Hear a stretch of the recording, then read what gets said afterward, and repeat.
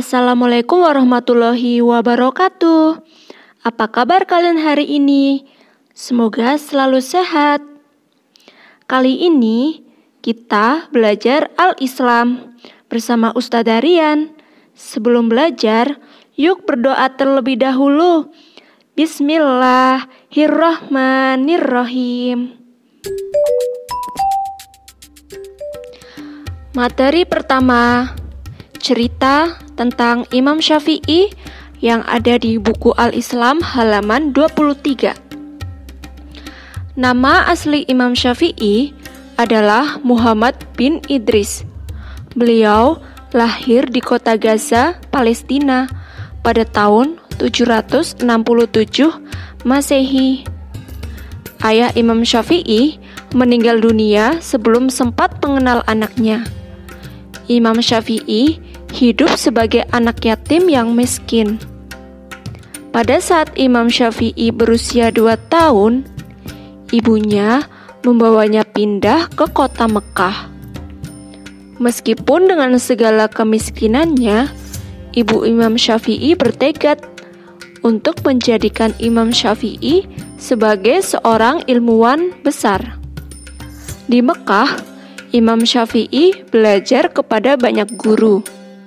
Di usia tujuh tahun, Imam Syafi'i telah hafal Al-Quran 30 juz dan pada usia 10 tahun, ia telah menghafal sekian banyak kitab. Imam Syafi'i dikenal pandai dalam berbagai ilmu, di antaranya ilmu sastra, bahasa, Al-Quran, hadis, dan lain sebagainya.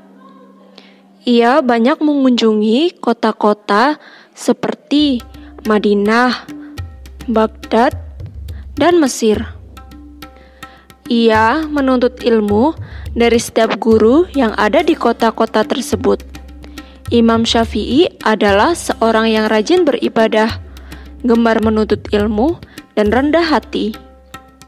Diriwayatkan bahwa Imam Syafi'i membagi waktu malamnya sepertiga untuk sholat malam, sepertiga untuk menulis buku, dan sepertiga lainnya untuk tidur.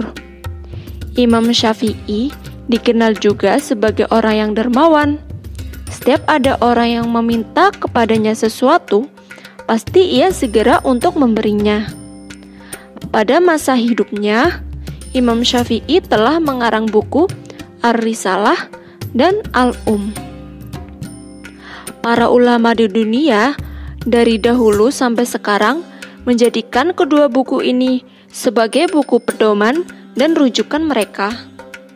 Pada tahun 820 Masehi, Imam Syafi'i meninggal dunia pada usianya yang ke-53 tahun. Ia ia mendapatkan gelar Nasirus Sunnah atau artinya pembela sunnah Nabi. Bacaan yang kedua ada di halaman 27 buku Al-Islam.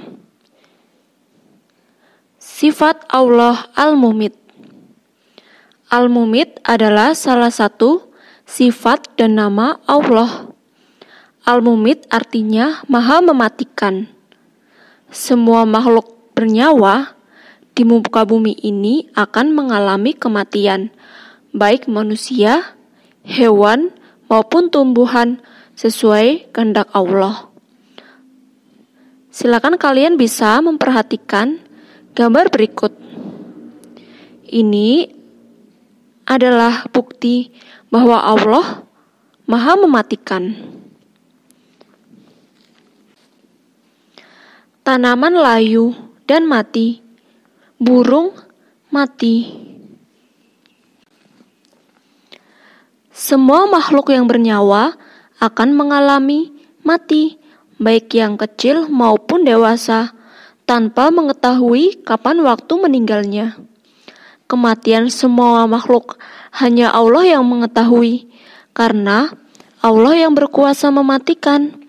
Semua makhluk yang telah tiba waktu kematiannya tidak akan dapat menghindarinya.